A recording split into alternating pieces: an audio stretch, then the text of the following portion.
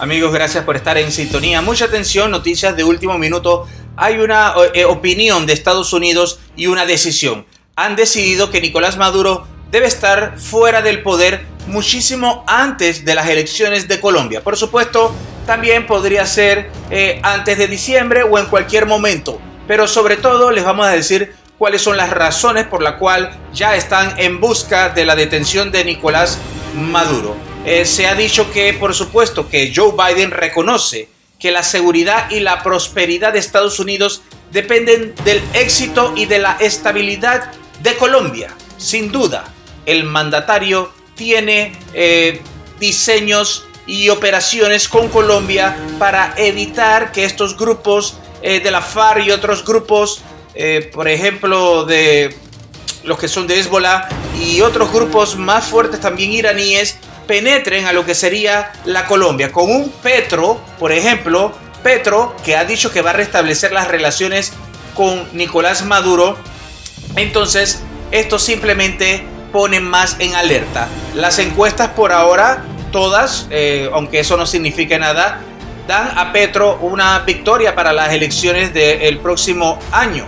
Entonces, eh, ¿cómo sería un gobierno con Petro? Entonces, eh, se cree que estaría colaborando con la FARC, que podría convertir a Colombia en una especie de Venezuela, en una especie de Nicaragua, y por ejemplo, si va a restablecer relaciones con la dictadura de Nicolás Maduro, eh, por supuesto que cualquier acción que haya que hacer para sacar a Maduro, hay que hacerlo ahora.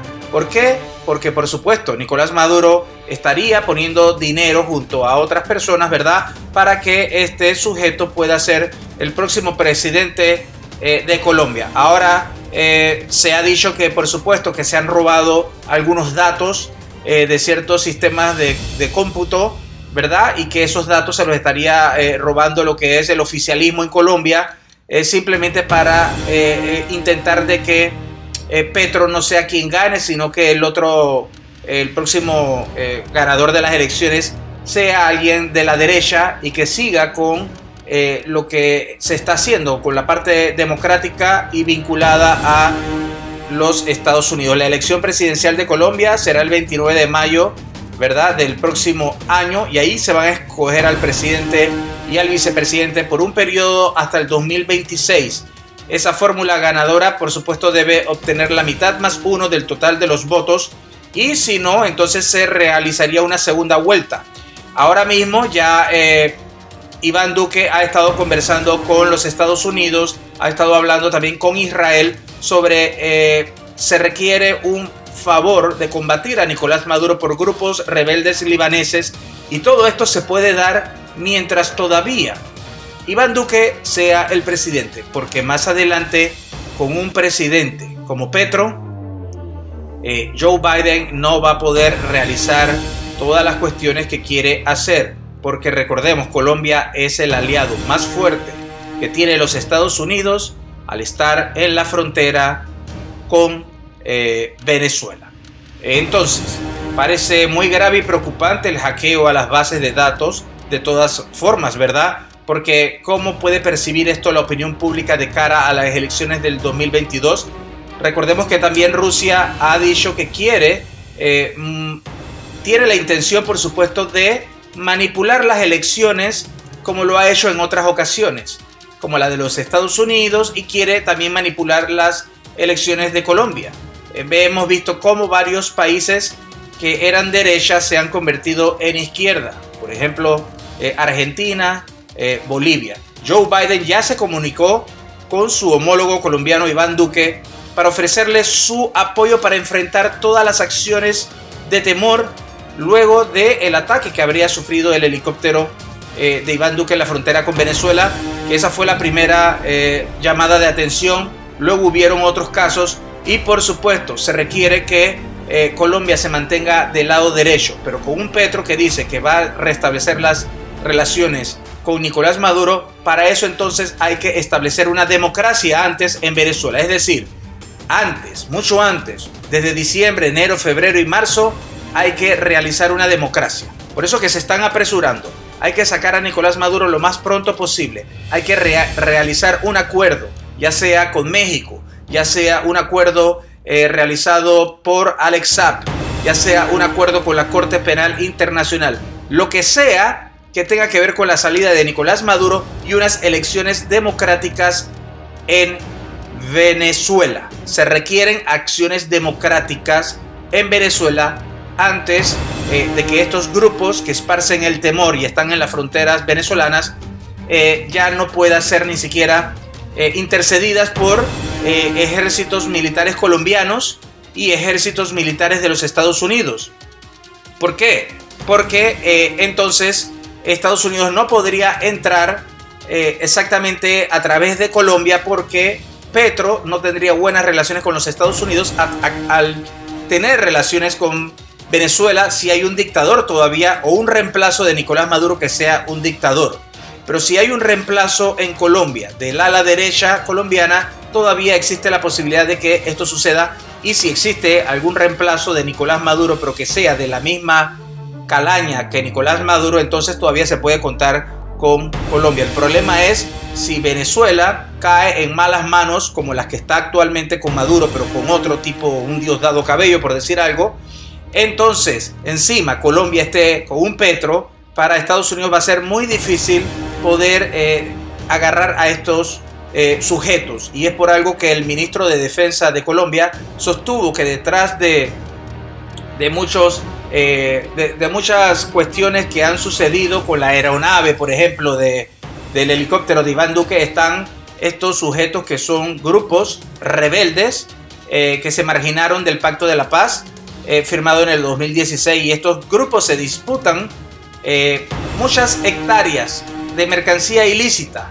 en la región que tienen un importante paso hacia Venezuela. O sea, que al final estaría Nicolás Maduro eh, o no estaría un Nicolás Maduro y no estaría tampoco un Iván Duque y Colombia entonces tendría que valerse de otros socios como Brasil, por supuesto también Panamá, de donde tienen bases también militares para ir allá a atacar a, a esos sujetos en la frontera. El asunto se pone cada vez peor cuando las disidencias son acusados por el gobierno de Duque de hacer actos violentos usando también un coche para realizar estos actos 10 días antes en una unidad militar de Cúcuta. Antes, eso fue la frontera, antes de lo del helicóptero. El FBI está participando en una investigación para dar con los responsables. El LN había negado su participación y en la conversación telefónica Joe Biden expresó también a Iván Duque su preocupación por la situación de Venezuela y el impacto eh, regional. Colombia y Estados Unidos lideran esfuerzos para sacar del poder a Nicolás Maduro.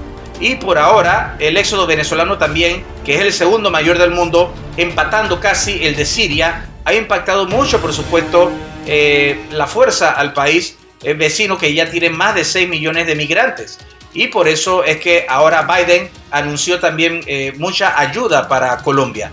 Venezuela estuvo en el tema bajo consideración porque hay un gran problema. Pero ¿qué pasaría si gana Petro?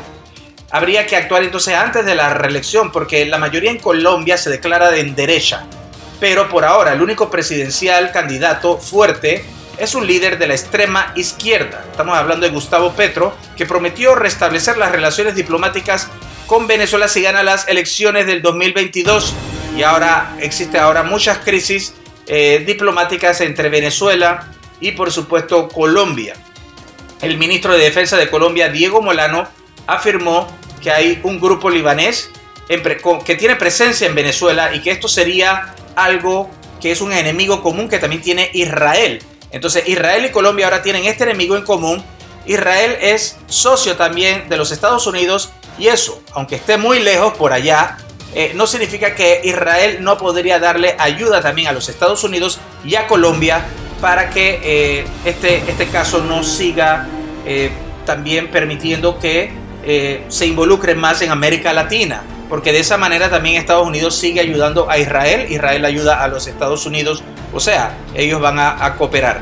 Y se sabe que estos grupos también están junto al caso de Irán, operan también en contra de Israel y apoyan al régimen de Nicolás Maduro. Es un riesgo para Colombia y por eso ellos están haciendo eh, monitoreos. Entonces por ahora lo que se ha dicho es que eh, ya los hackers descubrieron que Nicolás Maduro sí refugia a estos agentes en Margarita, ¿verdad? Son agentes que ya dijimos de una organización, ¿verdad? De, de, Irán. Y por supuesto, eh, también se ha dicho que Alex Saab estaría eh, vinculado con esta milicia libanesa que es respaldada por Irán, ¿verdad? Y Maduro estaría también eh, respaldándola, por supuesto. Pero, ¿por qué todo esto es importante?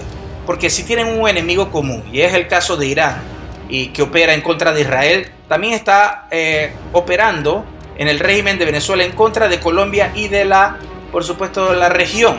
Todo esto encabezado por Nicolás Maduro. Así que una vez se saque a Nicolás Maduro, entonces este esfuerzo importante resultaría entonces en una baja un poco de, eh, de la presión, sin importar que pudiese ganar entonces un Gustavo Petro en Colombia, a pesar de que quiera hacer eh, nuevas relaciones con Venezuela, porque entonces habría un gobierno democrático en Venezuela. Recordemos que puede haber un gobierno democrático en Venezuela, incluso eh, que puede ser liderado por el PSUV, ¿verdad? Porque si se hace una oposición dividida, como estamos viendo que quiere suceder, y se lanzan a candidatos siete opositores y se tira nada más uno del PSUV, es muy probable que gane el PSUV con un 29%, un 25%.